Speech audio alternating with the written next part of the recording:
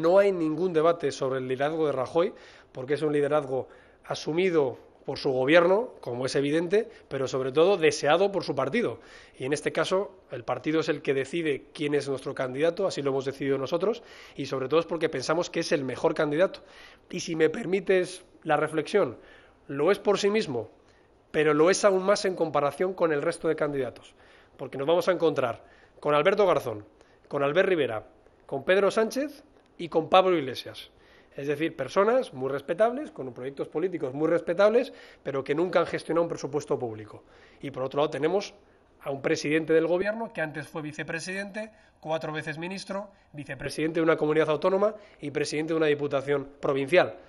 Yo creo sinceramente que ya no como miembro de un partido, sino como padre de dos hijos y como sufrido contribuyente en España, apuesto a que gestionen mis impuestos y gestionen el futuro de mis hijos aquellos que han acreditado que saben hacerlo. Eh, la única crisis que el Partido Popular combate es la crisis económica y, por cierto, con bastante éxito.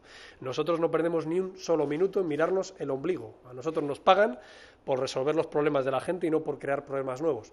Con lo cual yo creo que, que se ha visto claramente que todo el partido está con Mariano Rajoy, que todo el gobierno está con Mariano Rajoy y sobre todo que estamos muy orgullosos de nuestra candidatura.